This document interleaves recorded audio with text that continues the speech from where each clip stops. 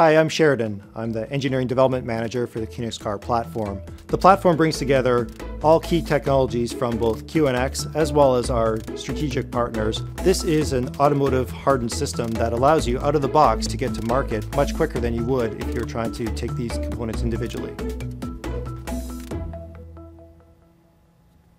So now I'm going to walk through some of the different features of the QNX Car platform.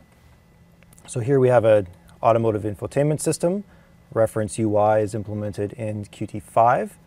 As you can see, the performance of the HMI is quite responsive, very quick screen transitions with no perceptible lag.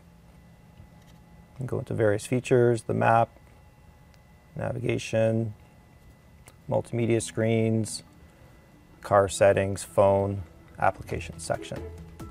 So performance is quite good.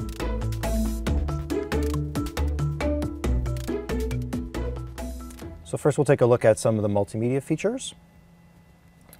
So we'll go into the media player. So multimedia is always a very critical feature in automotive and not only dealing with the different formats of media, but also dealing with the different devices that you're going to want to bring into the vehicle, different formats of, of music, uh, and different ways to get that in. First off is the embedded media player. So we've got access to Jukebox where the media is uh, synchronized into traditional artist album genre or even just a full list of all the songs in the platform. And one of the key features is uh, for automotive infotainment is bringing in removable media into the platform. So I've got a number of devices that we're going to bring in. So first we'll start with a USB stick. Insert it in. See how it's detected. We'll actually sync the media. So you can see by artist, album genre, songs, And of course, need to be able to handle the use cases where the media is removed during playback. So stability, being able to reliably handle that use case is very critical for an automotive system. Of course, I reconnect it and we bring it back in again. So in this case, I've got an Android MTP device. So it's detected. To go in, access the media, we'll sync it,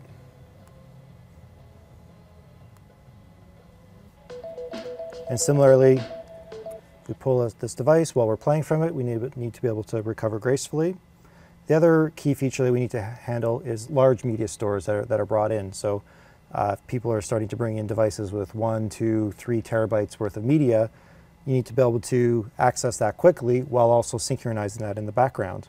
So you'll actually notice when we connect, you can't actually access the albums, artists, genres right away, but you can access the folders. We're syncing in the background, and then once that sync is complete, you can actually go back and access a, a synced view. Now we can actually see artists and albums, songs. So again, being able to handle those, those use cases is uh, uh, extremely important. Uh, people, we don't want users having to wait for the media to sync.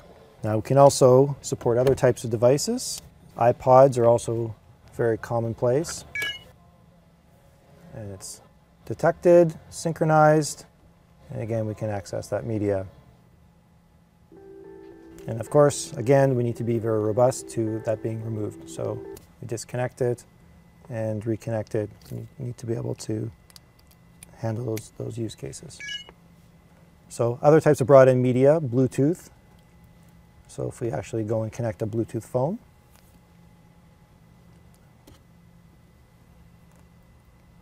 there we go, we're connected.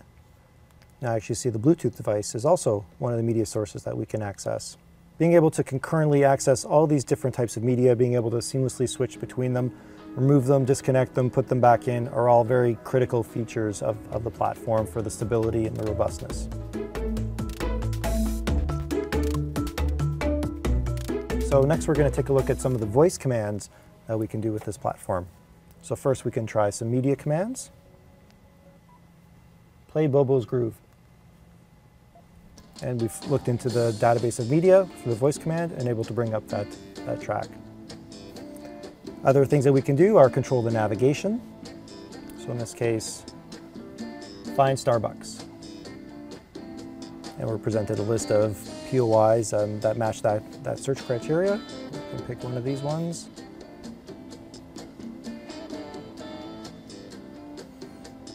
And so our navigation is running.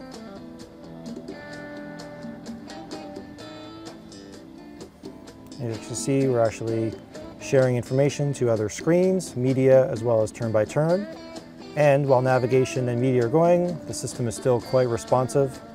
Be able to access all the media, be able to uh, interact uh, quite seamlessly, quite easily with the platform. And also do other types of, of navigation searches. Find airport.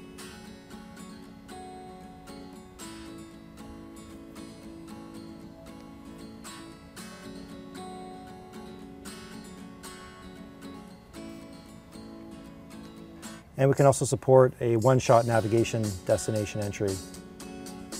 Navigate to 100 King Street. And again, we get a list of matches, top match plus number of other potential matches. And we can select that. And we'll actually go in, we'll cancel the previous route, and we can automatically start up the next route in the system. So next we can also show the integration of the, the voice recognition with our hands-free phone calls. Call James. So again, the voice recognition, we're able to uh, do a contact lookup, and we can call James. Now, one of the other key features of the platform is our acoustic echo cancellation. So we're actually able to help out with the, the noise and echo of uh, the cabin experience to, to provide a, a very good, clean audio experience. We can also support doing direct digit dial via voice command. Dial 613-591-0836.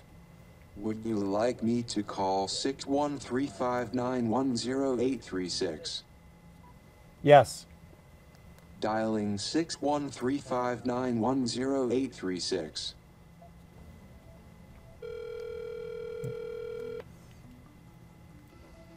Thank you for calling QNX Software Systems.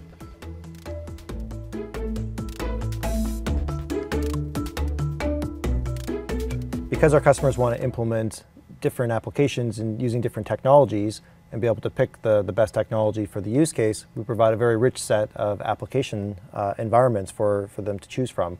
Everything from native applications, Qt5 applications, HTML5 applications, as well as APK applications that would run on, say, an Android smartphone can be brought into the car. So if you take a look at a few of these, the first one would be a native application. In this case, it's simply a rear view camera application. And we can switch to set of HTML5 applications. Here's a internet parking spot finder application.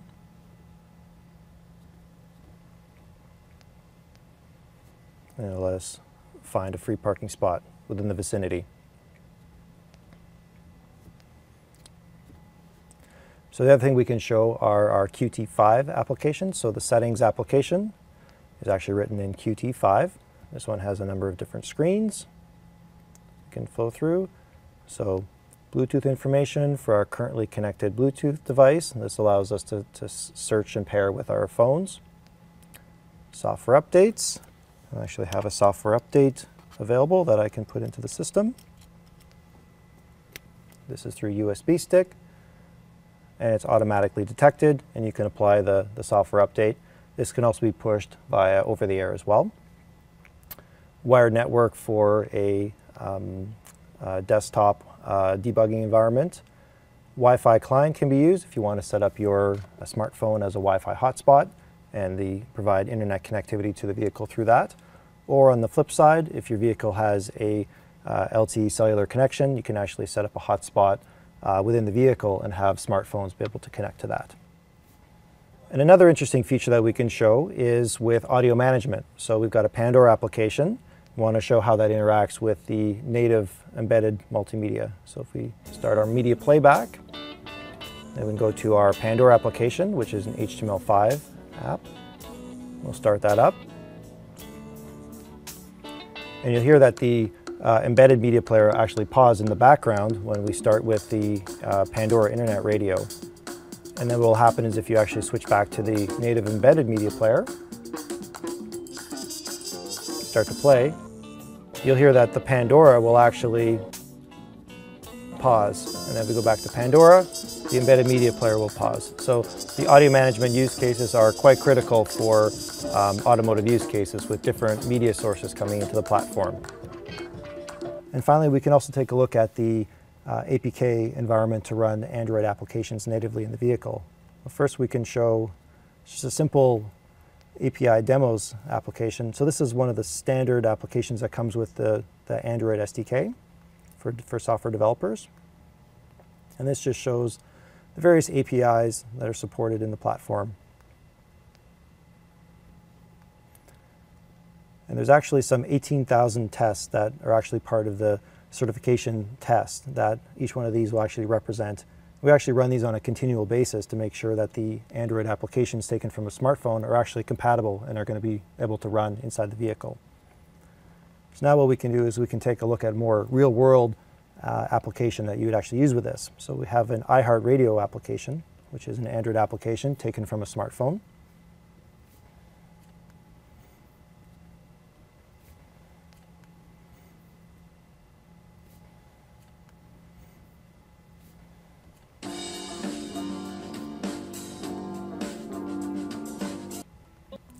Again, this is showing how you can build in other types of applications from a smartphone into the vehicle.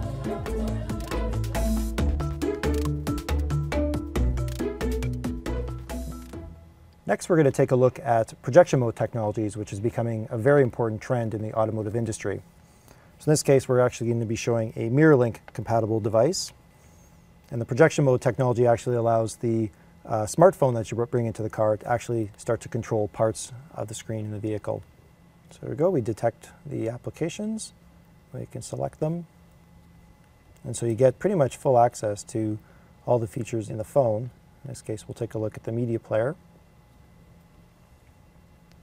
And again, every phone manufacturer is actually uh, responsible for choosing the driver experience and the UI experience that's presented to the customer. All right, so now we're going to take a look at yet another um, very important automotive feature, which are some of the last mode persistency features. So in this case, we're going to show last mode audio. So we have a media track session. So you see the full set of tracks that we're playing, the current track and its current position. And what will happen is when the vehicle is, is turned off and the user gets out, eventually they return back, the expectation is the vehicle is going to come back to the same media, media playback that um, was left when the vehicle was, was turned off. So we're not hooked up to the ignition right now, so we'll just simulate that with our shutdown application. In this case, we're going to be saving the full state of the, of the system, and we'll start to see some of the fast boot capabilities as well. So we see the fast camera, the audio chime. Now we start to hear the audio track session that was last playing, and then the user interface finally comes back up. So once the system is up, as you see, we're back at our same track session and the media player is back up and running. System is fully responsive, navigation is up and ready to go. So that just demonstrates last mode capabilities as well as the uh, fast boot capabilities of the platform. All right, so we've uh, completed our walkthrough of all the various features of the QNX Car platform where we've been able to show a variety of technologies both from QNX as well as from our third-party partners showing how they're all integrated into a, a complete software stack. Everything is pre-integrated, pre-tested, very robust. And really this is going to allow you to uh, use this as a starting point where you can get to market and building your next generation infotainment system.